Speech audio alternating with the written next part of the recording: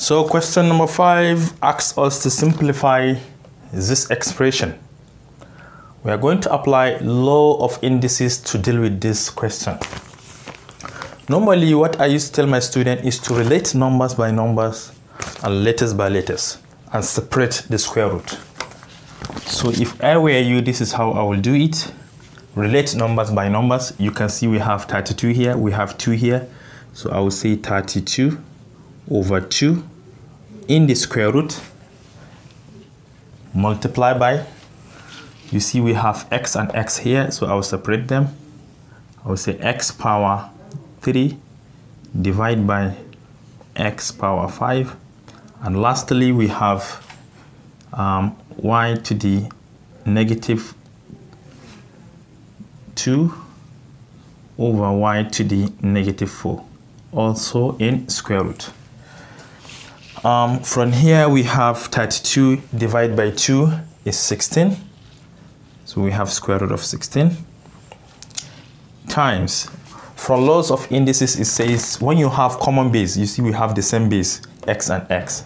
And if they are dividing, take the power to the top and subtract the power to the bottom, which is the same thing as saying 3 minus 5.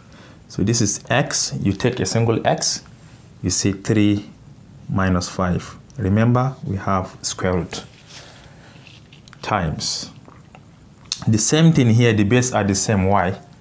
Take one of them, subtract. We have minus 2 to the top, then you subtract the bottom one, which is minus 4. Square root of 16 is 4. We are moving. 3 minus 5 is minus 2. So we have square root of x to the negative 2 multiply by also square root of um, if you expand this parenthesis minus minus will change it to plus. We end up having minus 2 plus 4 which is the same thing as 2 so this is y to the second power. Naturally you know power of 2 will eliminate the square root. So this power will cancel this uh, square root. This power will also cancel the square root.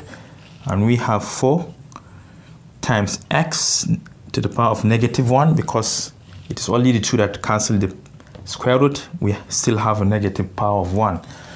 But this one is positive. It will cancel just direct. So this is our final answer. But here you can see the apply law of indices that says if you have uh, x raised to the power of negative 1 is the same thing as 1 over x. So they transform it into this in such a way we're going to have 4y over x. And now we have no power of x. And it is the last option E from question number 5. Moving on, let us go to the question number 6.